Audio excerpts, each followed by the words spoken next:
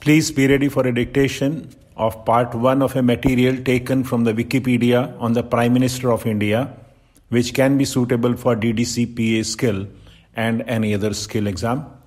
5 seconds. Start. The Prime Minister of India is the leader of the executive branch of the Government of India. The Prime Minister is the chief advisor to the President of India and the head of the Union Council of Ministers. They can be a member of any of the two houses of the Parliament of India, the Lok Sabha, House of the People, and the Rajya Sabha, Council of the States, but has to be a member of the political party or coalition having a majority in the Lok Sabha. The Prime Minister is the senior most member of cabinet in the executive of government in a parliamentary system. The Prime Minister selects and can dismiss members of the cabinet, allocates posts to members within the government, and is the presiding member and chairperson of the cabinet. The Union Cabinet, headed by the Prime Minister, is appointed by the President of India to assist the latter in the administration of the affairs of the executive. Union Cabinet is collectively responsible to the Lok Sabha as per Article 75.3 of the Constitution of India. The Prime Minister has to enjoy the confidence of a majority in the Lok Sabha and shall resign if they are unable to prove majority when instructed by the President. India follows a parliamentary system in which the Prime Minister is the presiding head of the government and chief of the executive of the government. In such systems, the head of state or the head of state's official representative, that is, the monarch, president, or governor general, usually holds a purely ceremonial position and acts on most matters only on the advice of the Prime Minister. The Prime Minister, if they are not already, shall become a member of Parliament within six months of beginning his her tenure.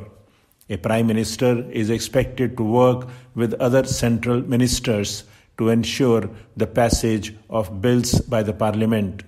Since 1947, there have been 14 different prime ministers.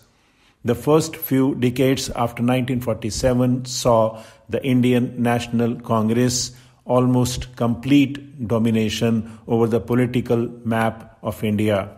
India's first Prime Minister, Jawaharlal Nehru, took oath on 15 August 1947. Nehru went on to serve as Prime Minister for 17 consecutive years, winning four general elections in the process. His tenure ended in May 1964 on his death.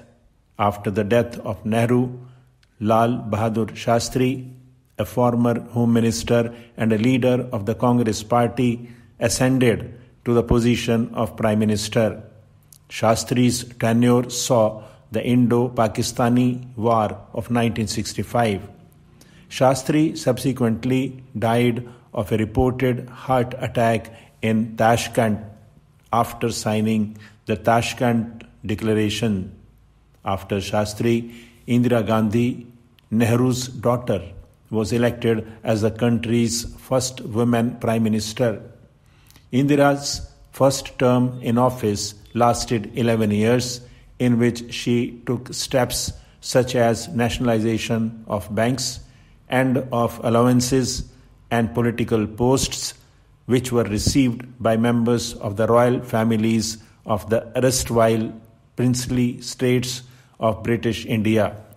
In addition, events such as the Indo Pakistani War of 1971, the establishment of a sovereign Bangladesh, accession of Sikkim to India through a referendum in 1975 and India's first nuclear test in Pokhran occurred during Indira's first term. In 1975, President Fakhruddin Ali Ahmad, on Indira's advice, imposed a state of emergency, therefore bestowing the government with the power to rule by decree.